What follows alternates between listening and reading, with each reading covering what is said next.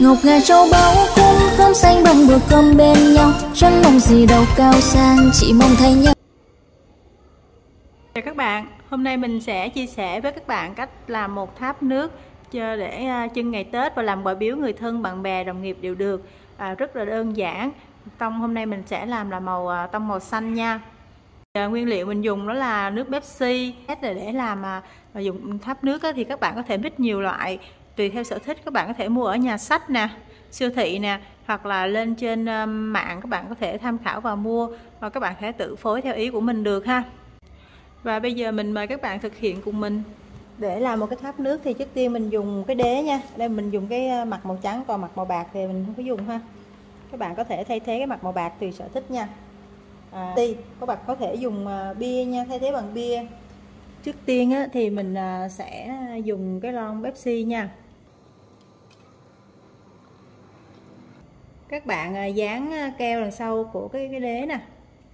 Rồi cho ngay ở tâm ở giữa của cái cái cái à, cái đế hoa đó à, cái cái cái đế của cái tháp nước á thì cho xích lên từ cái cái góc của cái, từ phía ngoài của vòng tròn là tới vô lúc mình làm là hai đốt ngón tay.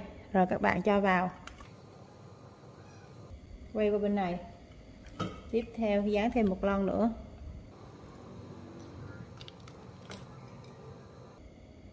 Xích vô một xíu ha.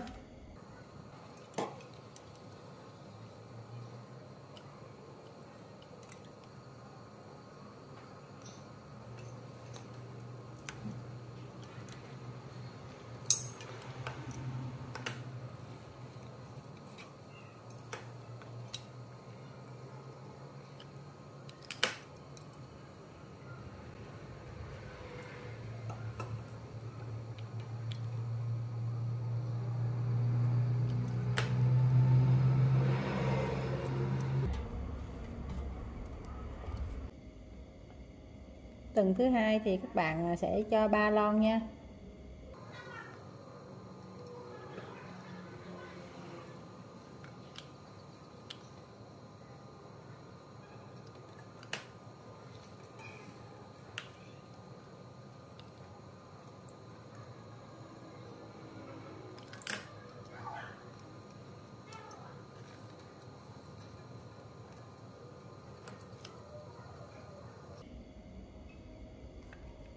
Chân trên cùng mình sẽ cho một lon.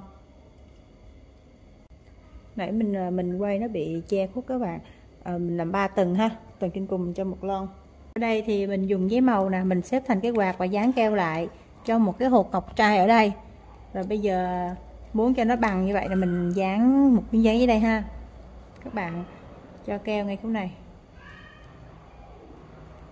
Rồi chúng ta sẽ cho cái tầng đầu tiên nè ngay chỗ cái gần cái lon à, của tầng thứ hai nè, ngay cái góc nè. Cho cái hình cái quạt đặt hơi xiên vào đây. Nó nó hơi nghiêng nghiêng vậy nè các bạn nha. Rồi, tiếp theo mình sẽ dùng cái hoa mẫu đơn. Màu xanh nha các bạn. Ở tông xanh mình sẽ dùng màu xanh hoặc màu trắng ha. Rồi, các bạn cho vào ngay cái góc của cái lon nè. Hơi cao một xíu nha, đừng cho sát quá ha hơi cao xíu cho nó dính cho cái cái hoa chúng ta lên trên một tí. Thì mình sẽ dùng cái hoa màu ánh bạc. Hoa này dạ, hoa to ha. Các bạn cho keo vào. Rồi sau khi cho keo vào rồi các bạn cho ngay ở giữa cái lon ờ, cao nhất nè. Hay chuẩn đại trà ngã ba đó. Bạn cho vào. Dán vào đó nha khoảng 3 4 giây là nó đã khô rồi. Mình à, sẽ dùng một cái hoa màu trắng. Ở đây à, các bạn dùng hoa to cũng được mà hoa vừa vừa cũng được ha. Mình cái loại hoa này nó sẽ nhỏ hơn cái hoa màu xanh nên mình sẽ dán hơi cao một xíu. Tiếp theo mình à, sẽ dùng lá. Thì các bạn dán keo ở phía sau nè. Rồi, cho vào phía sau của cái hoa trên cùng theo mình à, sẽ dùng một cái à, quạt nhỏ nữa để mình dán vào đây nha. Dán vào cái bên à, của cái lon nè.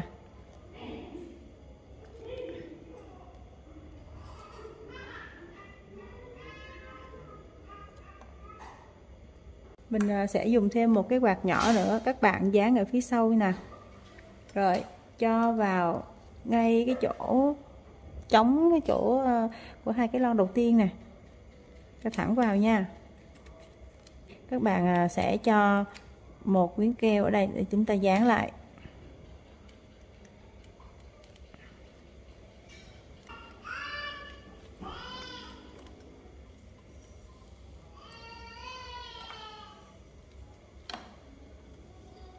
Mình à, sẽ dán ở đằng trước của cái cành chủ ngọc nè.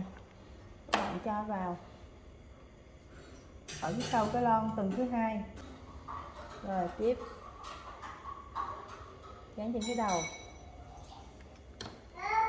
Dán sau cái lon cao nhất.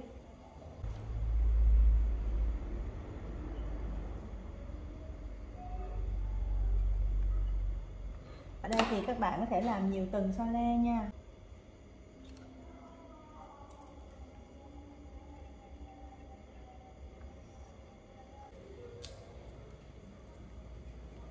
Các bạn nên cho một lớp keo trước nha.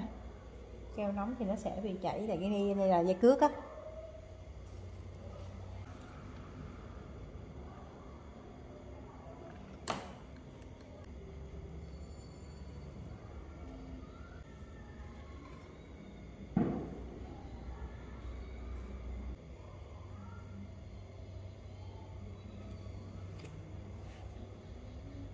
Sau khi à, dán cái à, hạt xong rồi thì mình sẽ cho một cái trái, cái trái nè chuỗi ngọc nè mình à, dán khúc này để cho nó che lại nha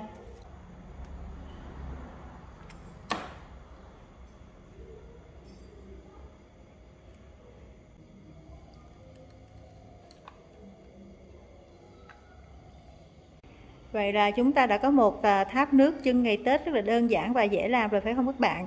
Clip của chúng ta đến đây đã hết rồi. Chúc các bạn thành công. Chào và hẹn gặp lại các bạn trong clip tiếp theo.